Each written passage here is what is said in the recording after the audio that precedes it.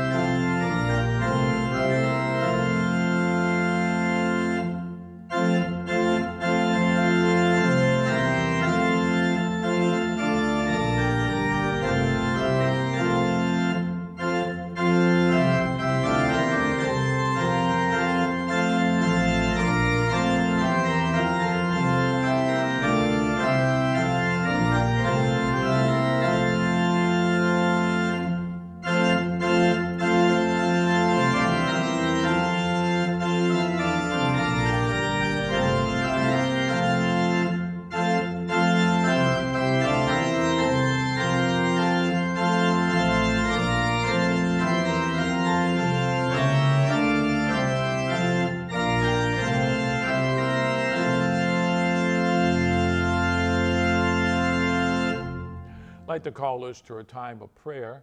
Each week we hold one of our homebound members in prayer, and th- this week we're mindful of Rachel Singleton. Let us pray. Holy God, at the name Jesus, demons quake and life is renewed. Yours is the love that calls to us. Yours is the mercy that forgives and makes eternal life possible. Lead us in truth and set us free to rejoice. This we ask in the strong name of Jesus Christ. Amen. An important part of, of worship is the offering. Uh, it's not just a way to support the upkeep of the church, uh, it's a way we respond to the generosity of God. The God who gave us life gave us the ability to bring fruit to that life. So, as an act of worship, we return part of what God has given to us. And each day at this time, we are mindful of how the church has been in ministry. Uh, this past week, uh, we've been involved in a new ministry through our preschool. On Mondays, we have a mother's morning out, or I should say, a parent's morning out.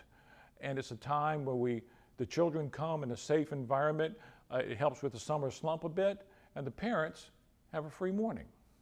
So, would you join with me in prayer? Glorious God, out of your love, we've been called into being, and it is your will that we live in the fullness of your love, the way Jesus Christ has shown us how to love one another. That is why we praise you this day, why we give not only voice, but the hands and feet of ministry to announce creation's joy. Accept our gifts of life and labor and bless them with the power of your love. Touch others through our work, so all people may know the joy of life lived in you. This we pray in Jesus' name. Amen.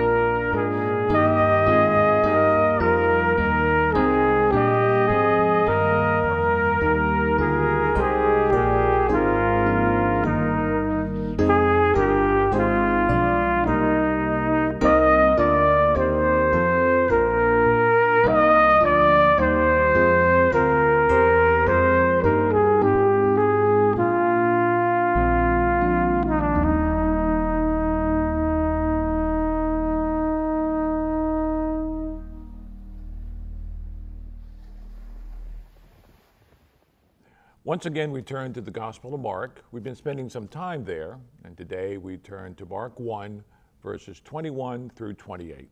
Let us hear these words. And they went into Capernaum, and immediately on the Sabbath, Jesus entered the synagogue and taught. And they were astonished at his teaching, for he taught them as one who had authority, and not as the scribes. And immediately there was in their synagogue a man with an unclean spirit. And he cried out, What have you to do with us, Jesus of Nazareth? Have you come to destroy us? I know who you are, the Holy One of God. But Jesus rebuked him, saying, Be silent and come out of him. And the unclean spirit, convulsing him and crying with a loud voice, came out of him. And they were all amazed, so that they questioned among themselves, saying, What is this? A new teaching.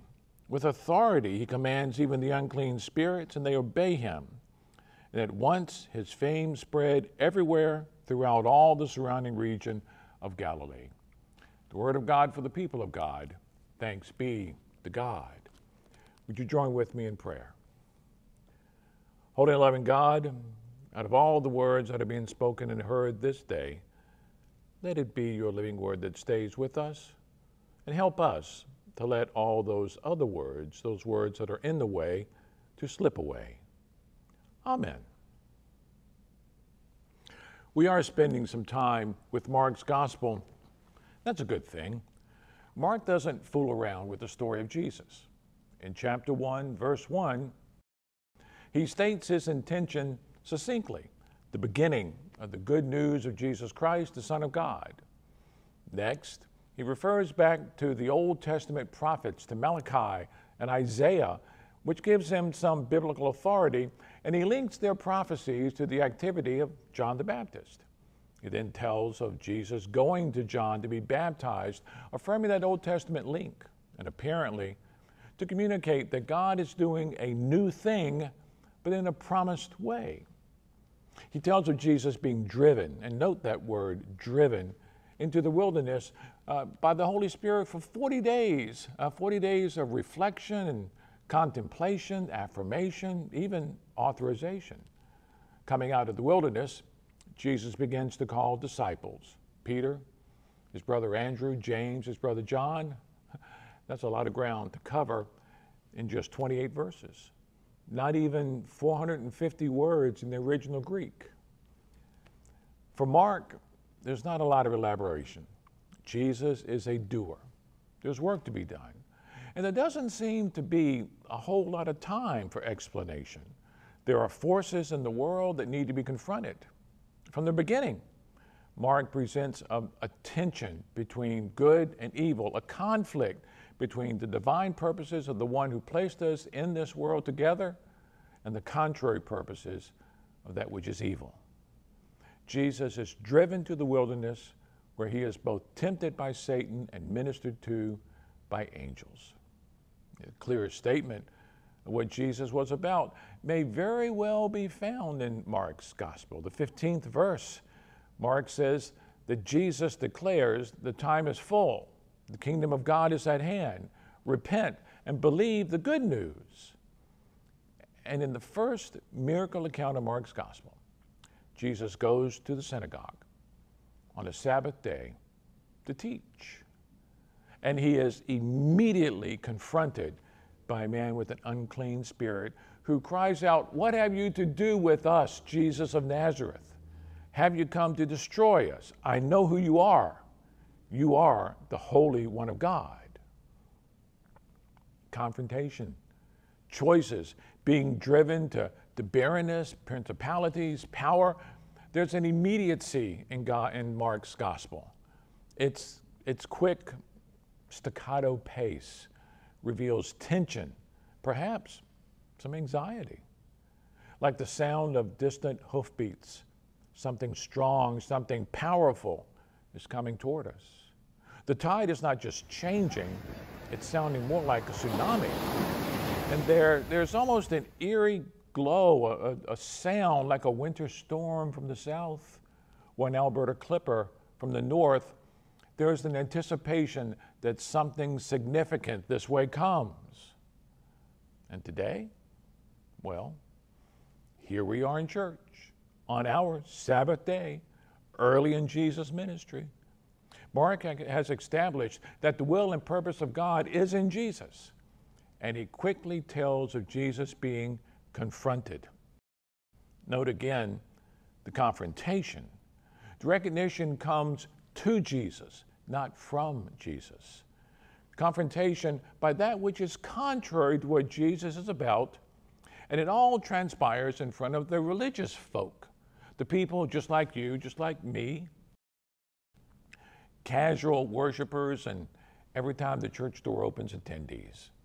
Sunday school teachers, Sunday school seekers, priests, preachers, cantors, singers, all at once. The importance of what church is about life and death, good and evil, truth and falsity.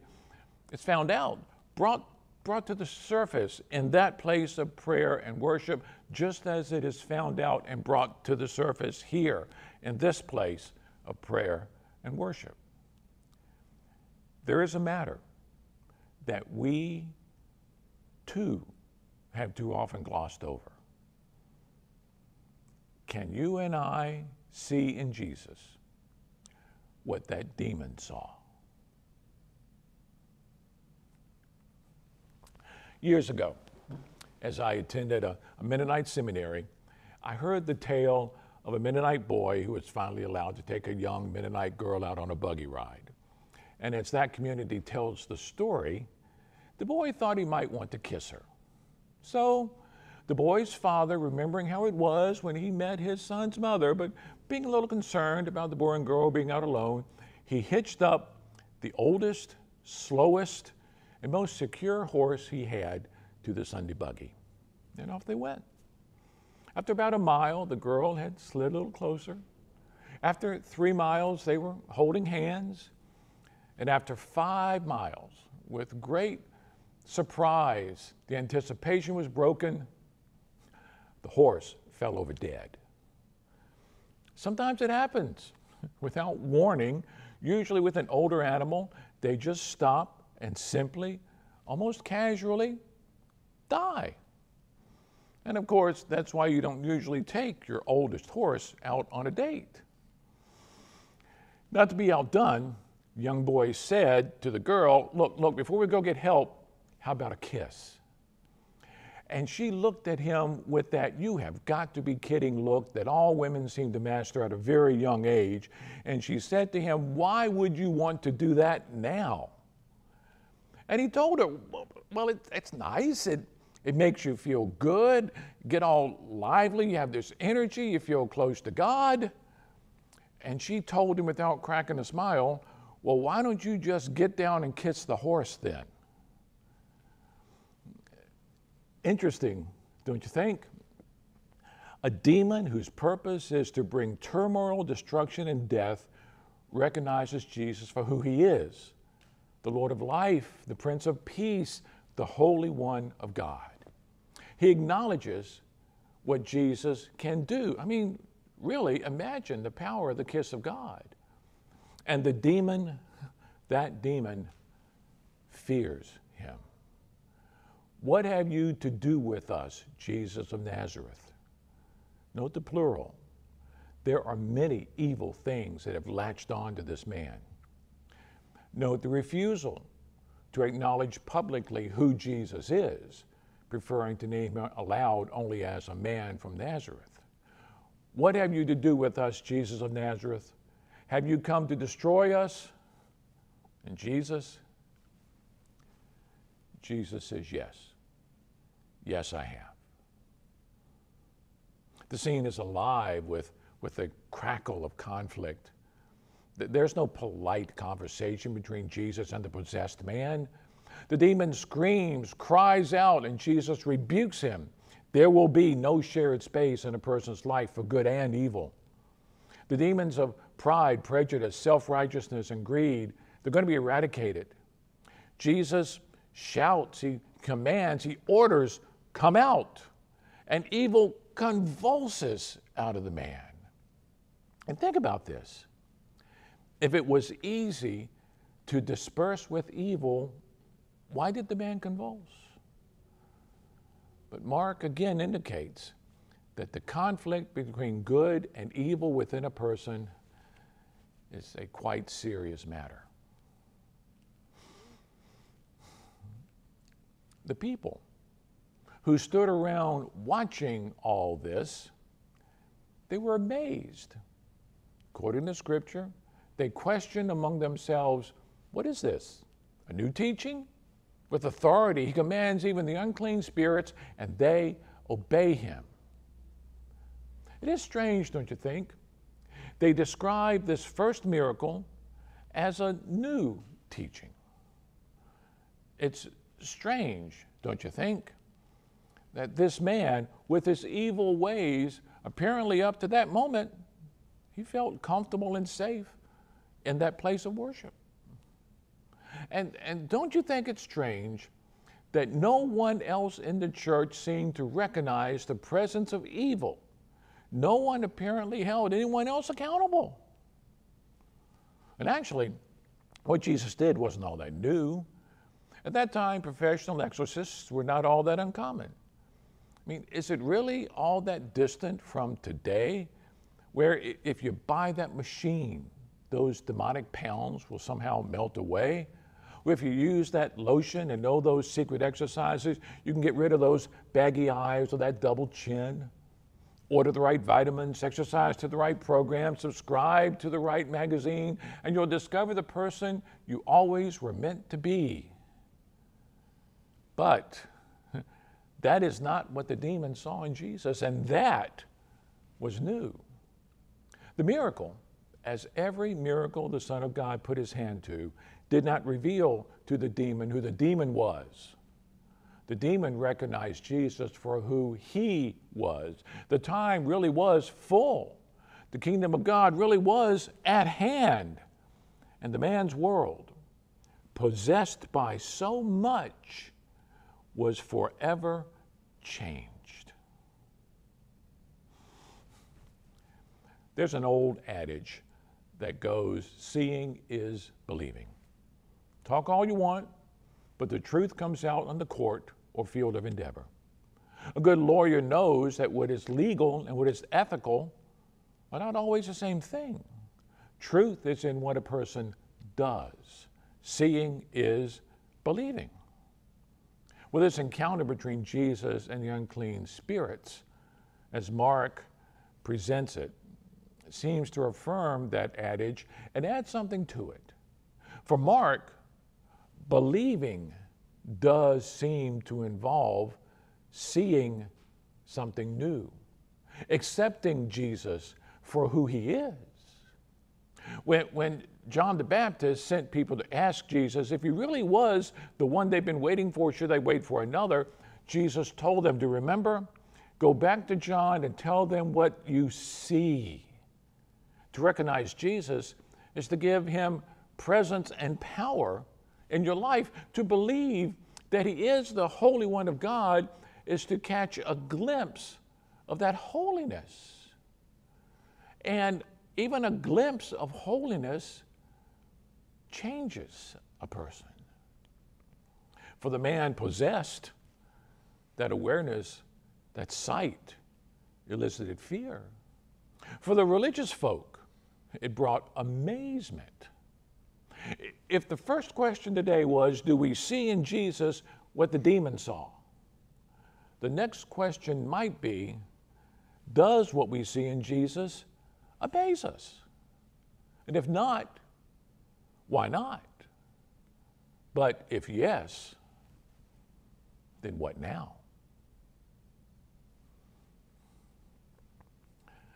It's been several years ago serving another church, serving a couple of churches ago, I was once misunderstood when I said from the pulpit, we have become too sophisticated to believe in demons. I was trying to make the point that we don't get to determine if evil really does or does not exist.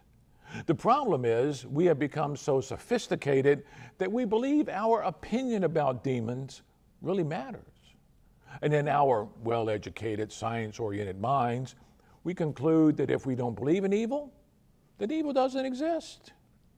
Claiming there is evil in the world becomes more an excuse for our behaviors rather than a challenge to be confronted. It's Flip Wilson's church lady saying, The devil made me do it. It's Dana Carvey on Saturday Night Live. But, but, beloved of God, there are indeed demons among us demons of lust, of anger, of self righteousness, demons of arrogance and greed, of ill will and malice, demons of apathy, materialism, estrangement, conceit, jealousy. And perhaps it does come down to a choice. Shall I watch what Jesus does in other people with amazement, never seeing for myself what Jesus can do for me? Or do I recognize Jesus for who he is, the Holy One of God, and frankly, let him have his way with me? I leave that for you to determine.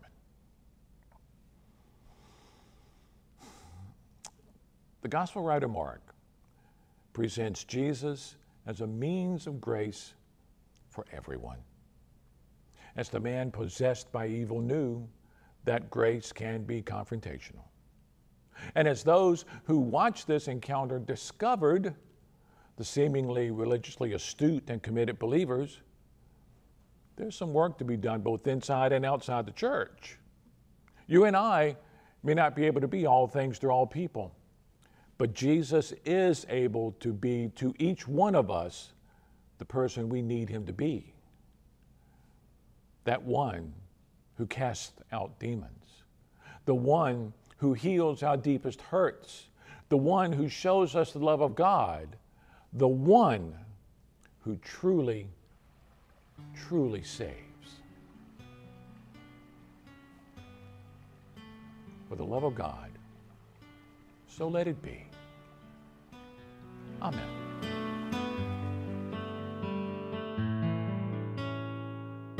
Amazing grace, how sweet the sound. Amazing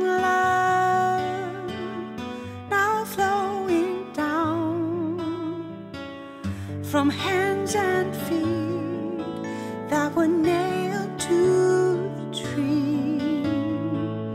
As grace flows down and covers me. Amazing grace, how sweet the sound. Amazing